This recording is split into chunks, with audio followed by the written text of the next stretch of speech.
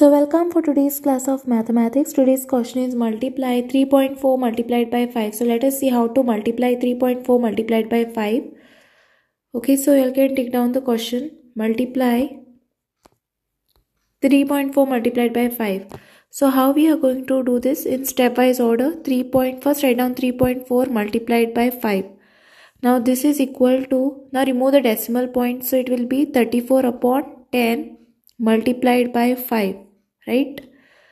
Then what you all can do is write down 34 multiplied by 5 upon 10 so you can cancel this 5 ones are 5 5 twos are 10 so you will get 34 upon 2 right? Then 2 ones are 2 2 ones are 2 then carry 1 is there.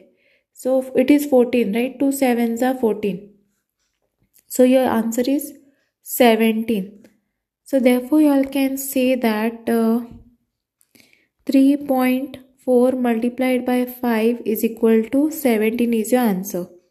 So this is your final answer. So i hope you all have understood how to uh, multiply this 3.4 multiplied by 5 and thanks for watching. If you all have any doubts queries related to this like how to multiply a number with a decimal point if you all want more problems on it you all can comment below don't forget to like subscribe my channel and share with your friends. Press the bell icon for more updates